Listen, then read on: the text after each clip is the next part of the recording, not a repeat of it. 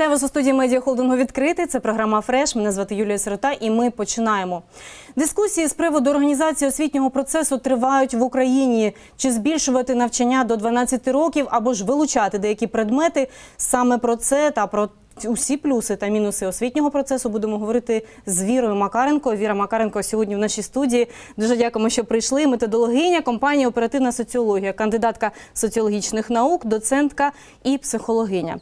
Е, Віро, ми знаємо, що е, завжди е, ви цікавитесь усіма процесами і знаєте, що ж відбувається, і особливо маєте такий величезний досвід роботи як у приватних, так і у державних закладах освітніх. Тому я думаю, що сьогодні можна буде поговорити з приводу того, який же є е, зараз освітній процес в Україні і чи потрібно щось змінювати. Угу. Вітаю пані Юлію, вітаю е, глядачів і глядачок каналу. А дійсно зараз проблеми освіти е, надактуальні. Якщо можна так сказати, а спочатку на освітній процес дуже сильний вплив спричинила пандемія. Потім, на жаль, ми зіткнулися з трагічними подіями з повномасштабним вторгненням. І зараз ми знаємо, що е, в ситуації небезпек великих для життя та здоров'я дітей. А у більшості регіонів, е, де такі небезпеки є, відбувається е, освітній процес онлайн, як у середній школі, так і у вищій школі. А ті заклади навчальні, які розташовані в регіонах, ну скажімо так, більш спокійних, і е, ті, які облаштовані в першу чергу всіми необхідними укриттями, там процес відбувається офлайн. Проте, ну звісно, дуже складна ситуація зі станом і дітей і вчителів та вчительок. А і ті стреси, які переживають і е, діти, і дорослі, вони безперечно впливають на якість отримання освіти, і вони спонукають переглядати ставлення до того, що викладати як викладати, і в якій формі і в якій формі звичайно. подавати, і яким зміст має бути цього процесу. А з приводу е, якісної освіти в Україні, звичайно ж, е, хочеться говорити, е, тому що ще і до усіх цих проблем ми розуміли, що реформа потрібна, угу. але ж як саме її проводити, і в який бік так би мовити, так тому що ми розуміли, що вилучати предмети не потрібно, бо дітям треба е, все мати е, уявлення мати, про світ. так, уявлення, але все ж зараз точаться такі дискусії угу. з приводу е, уникнення таких проблем, так би мовити, так тому що діти, нібито можуть щось не засвоювати, для них надскладно і так далі. Чи справді це так, і чи потрібно вилучати деякі предмети з освітньої програми? Угу. А дивіться, тут справа навіть не в тому, що діти мають знати перелік певний галузей знань. А завдання головне школи в першу чергу, а далі вже вища освіта розвиває а, цю мету це створити у підростаючого покоління цілісне уявлення про світ і про себе в цьому світі. І тому перелік предметів він може бути різним, але треба, щоб людина розуміла маленька дитина, підростаюча людина. Треба, щоб вона розуміла, як влаштована природа, і тому знання з фізики, хімії, біології і і все, що з цим пов'язано, астрономія, вони необхідні, тому що ну, людина живе у сучасному світі, вона має розуміти, як він влаштований. А треба, щоб людина розуміла, як їй спілкуватися з іншими як е, влаштоване суспільство, тому треба гуманітарні предмети, треба грамотність. Тобто, а тут мова йде про те, що треба знання дати цілісне, не дискретне, таке розірване. О, я там щось вчив, а потім з подивом виявляю, що а тут в іншому на іншому уроці щось схоже про те саме. Тому зараз освіта рухається у напрямку інтеграції предметів. І мова не про те, що якісь знання вилучаються з освітнього процесу, а про те, що вони по-іншому конструюються ці предмети. От мені з цього приводу дуже подобається реформа нової української школи. Яка триває в Україні вже декілька років, і зараз вона вже з початкової школи перейшла до середньої школи. Зараз по всій Україні п'яті класи вже навчаються за програмою нової української школи. І вона, от якраз ця реформа, вона прагне об'єднати в собі найкращі зразки, приклади світові системи освіти і створити саме для дітей можливість а пізнавати світ але не через навантаження, зусилля, а через гру, через зацікавленість, через діяльність в першу чергу, проєкти, ще, ще щось, що пов'язане з практичними а, навичками. І от е, як я спостерігаю, і як е, свідчать досвід колег багатьох, з якими ми також спілкуємося, а це дійсно дає прекрасні результати. Хотілося б, от щоб в цьому напрямку наша Ми система могли освіти могла, могла продовжувати рухатися, хоча. Ну, на жаль, зараз дуже багато перепон. Так, складно, але ж е, приклади, особливо ну ж як е, зараз показують результати, і дуже багато е, є конкурсів саме серед вихованців Мгм. і випускників цієї вже школи. Да, за початкової то- ланки. Так, і ми бачимо, які результати високі досягають учні, і Так. це значить є сенс І ти, продовжувати. коли спостерігаєш за дітьми, коли ти на уроках перебуваєш, от у нас є досвід, ми обмінюємося а, там з колегами досвідом і ходимо на уроки. а, До них, і ти спостерігаєш, як учні 4 класу одночасно на уроці, а вони малюють, вони отримують знання з географії, з математики, з мови, з іноземної мови, і все це під музику. І все це в такому ритмі, що видно, що діти отримують задоволення, і дорослі разом з ними також е, від навіть від відчуття, що ти долучаєшся до такої важливої справи, і так класно все йде. Це просто неймовірний такий заряд енергії. І хочеться запитати, невже не можна було цього зробити раніше, так? Е, І невже школа повинна бути таким нав'язливим чимось? Розумієте, школа... Через, через не хочу, через не можу. Так, школа така інституція, яка дуже повільно, на жаль, змінюється. Можливо, це і не на жаль, тому що якщо буде швидко якісь зміни і треба буде, е, знаєте, е, щось нове вводити без перевірки, то це також небезпеку містить. Тобто треба, щоб бу- були виважені рішення. Але з іншого боку, роки проходять, і, і багато дітей не встигають е, долучитися до таких нових цікавих форм. Які... Е, З приводу збільшення терміну навчання також е, цікаве дуже питання. Е, Ми з е, 10 років перейшли до 11, а тепер думаємо, чи потрібні нам 12. Ви знаєте, це дійсно таке дискусійне питання, і воно обговорюється в контексті того, як влаштовані системи освіти в Європі. Так ось скажу вам, що 11-річна система освіти ем, середньої, вона виняток скоріше. Для систем європейських, тому що там 12, а в деяких країнах, якщо рахувати, рахувати і дошкільне виховання і навчання, то 13-15 років. І це така загальна світова тенденція, тому що збільшується процес соціалізації, коли нам все більше і більше треба опанувати, перш ніж піти вже в самостійне доросле життя. І тому ці 12 років освіти в них немає нічого страшного, якщо в школі, отак як ви сказали, цікаво. Без примусу, без якихось е, неприємних емоцій, і тоді це дійсно перетворюється на дуже щасливі роки зростання і е, опанування того, що тобі знадобиться, обов'язково знадобиться у дорослому житті. Оце дуже важливий аспект, щоб діти розуміли, навіщо це їм, що вони зможуть з цим зробити. І, до речі, сучасні діти вони самі такі. Вони питання, а навіщо задають В першу чергу, в першу так, чергу і постійно. От будемо вивчати це. А навіщо? А що мені це дасть? А що я з цим можу зробити? Дуже практичний І дуже підхід класно, що до вони, життя. що вони дійсно задають ці питання. Вірочка, пригощайтесь, будь ласка, чаєм. Дякую, дуже гарний. Будемо далі е, говорити про саме про освіту і про те, чи потрібні Україні е, ті зміни, які зараз є вже в інших країнах світу, так і чи можемо ми взяти цей досвід, чи він нам потрібен? Ви знаєте, тут може скластися ситуація, коли не буде особливого вибору.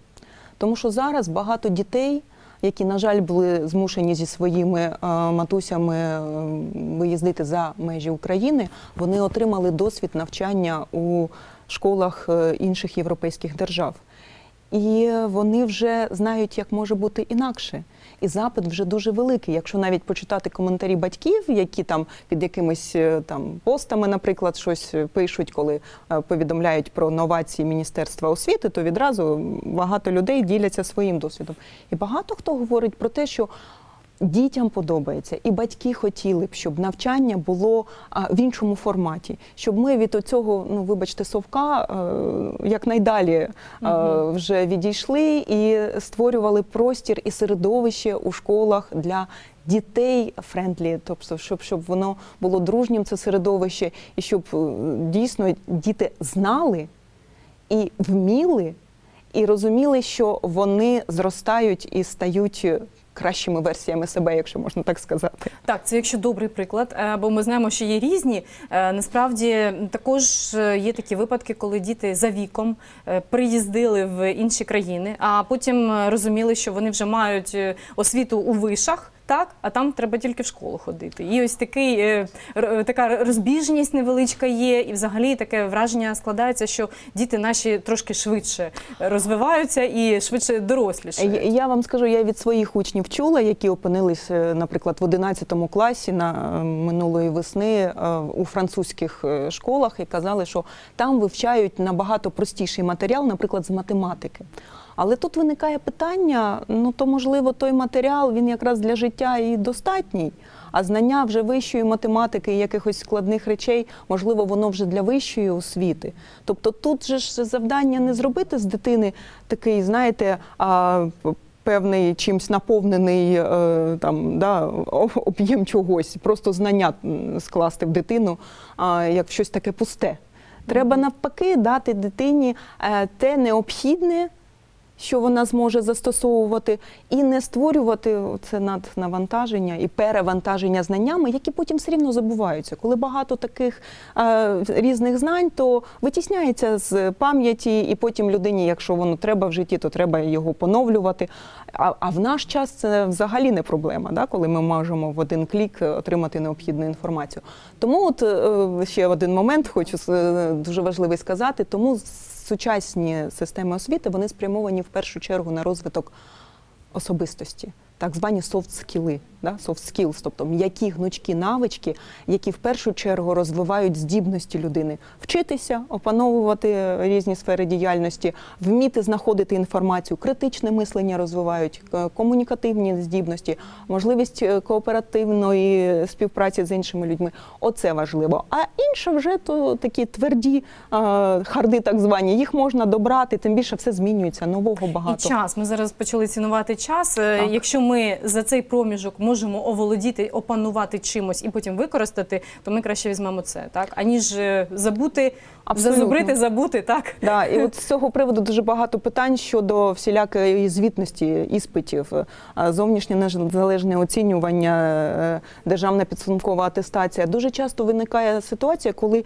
дитині треба от все відставити. І от займатися, от прям, знаєте, зазубрювати оце знання, і потім воно вивітрюється, тому що іспит здав і виконав. Да? І от тут питання: навіщо ці стреси, навіщо таке навантаження? Можливо, інша має бути форма, і от про це зараз якраз і ведуться дискусії, як з цим бути, що створити. Е, З приводу приватних е, шкіл, е, приватних учбових закладів і в порівнянні з державними часто батьки віддають перевагу саме приватним закладам, тому що там якраз ось є те, про що ви тільки що багато сказали. Так є направленість саме та, яка потрібна буде, і з якою будуть працювати уже підлітки, коли їм треба буде вступити до вишу, е, коли їм треба буде щось інше, і немає е, такого наполегливого е, ну, бачення учня, і так бачення його саме такою якоюсь машиною, яка Мгм. повинна все зробити. Так. Повинна просто відповідати на якісь запити ззовні. Так. А так дійсно у приватних закладів є більше можливостей для того, щоб додавати у програми, які вони мають давати дітям за стандартом державним, але додавати е, і- і різні інші предмети, робити знову ж таки певну інтеграцію, а, в спеціалізацію, профільні певні е, відкривати класи. До речі, от знову ж таки система е, наша державна, вона також прагне е, перейти до профільної е, вже старшої школи, коли вже у 9, 10, там 11, 12 класі згодом а вже можна буде готуватися саме до опанування професії, тобто набувати ті знання, які допоможуть потім розвиватися вже професійно. Угу. І е, такі моменти вони дійсно дуже важливі. І батьки, обираючи школу, вони якраз цікавляться тим, наскільки буде можливість а зрозуміти сильні боки дитини і розвивати їх максимально. Вір, у вас е, величезний досвід роботи як і в е, приватних, так і в державних е, учбових закладах, і вищої, і середньої школи, також і молодшої. Тому я хотіла запитати, чи є мінуси в приватних закладах, які саме, і так само і про державні. Тобто, як ми можемо зараз порівняти, аби батькам було зрозуміліше, що для дитини обрати? Ви знаєте, ну головний момент, який з державними школами пов'язаний, це наповнення класів. Тобто, коли ми говоримо, що в класах кількість учнів, ну страшно навіть ці цифри говорити, хоча це наші реалії. Вона до 30, а іноді до 40 у класі а, сягає, то, то звісно дати можливість вчителю попрацювати з кожним учнем, а учню себе проявити або учениці дуже важко. Тому цей момент якраз е, він має бути, на моє глибоке переконання, переглянутий. Ну, звісно, це все кошти, це все фінансування, і робити в школах е, державних, так як у приватних закладах, це ну, достатньо складно. Але мінуси, ну слухайте, мінуси вони залежать зазвичай, от я переконана, від людей. Якщо людина, вчитель, вчителька не, не горить справою, то чи вона буде в державній школі, чи вона буде в приватній, то біля неї нудно буде і учням, і ученицям. І навпаки, в будь-якій школі вчитель, вчителька це, це людина, яка веде за собою такий нескінченний світ пізнання. Вибачте за такі трішки Ну, поетичні вирази, але це так воно і є. І ти бачиш, коли в дітей горять очі, то це воно. Вчитель на місці, це на правда. місці, абсолютно, в будь-якій школі. Так, звичайно. А з приводу е, того, наскільки взагалі нам потрібно зараз е, е, це орієнтування, так, орієнтування в майбутнє, це дуже важливо зараз. І коли батьки і діти обирають репетиторів, то ми розуміємо, що в школі чогось не додали. І е, тут теж таке питання: колись не було цього, а потім репет... без репетиторства вже Мгм. ніхто навіть собі не уявляє, як же я буду вчитися, як я Це, взагалі це певний стереотип уже склався. Ну, типу, навіть батьки думають, як це я своїй дитині не, не найняла, не найняв репетитора. Це ну знаєте, це такий я що, погана мати, або я що, поганий батько.